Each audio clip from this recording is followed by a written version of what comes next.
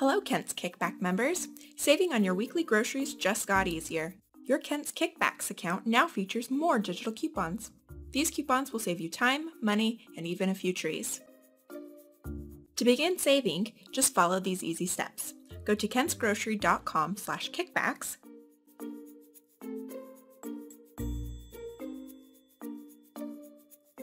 log into your Kent's Kickbacks account.